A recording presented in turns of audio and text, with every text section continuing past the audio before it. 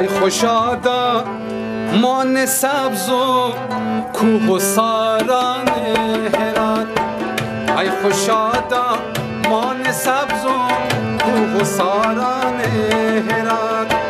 مرد جان می دهد فصل بهاران هرات.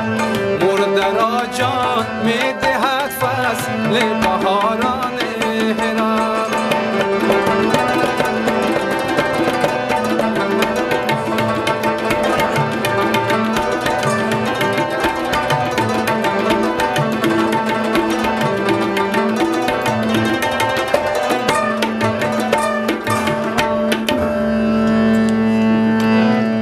شد علی ابن موفق.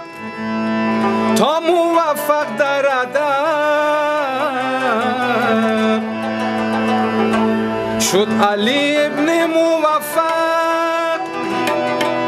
تا موفق در ادب. کرد و عمر خدمت شب. زنده داران هرات. کرد و عمر خدمت شب زنده داران هرات. ای خوشادا مان سبز و کوه و ساران.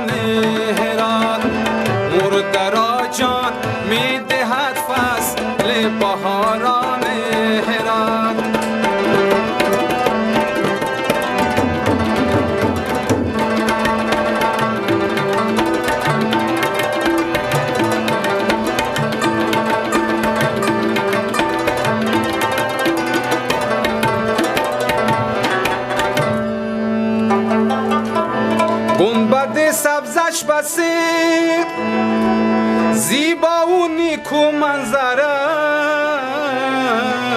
است.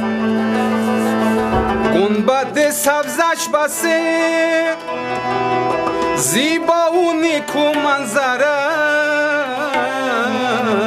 است. فیض ها بخشد به هر کس خواجه قلتان هرات. فیض ها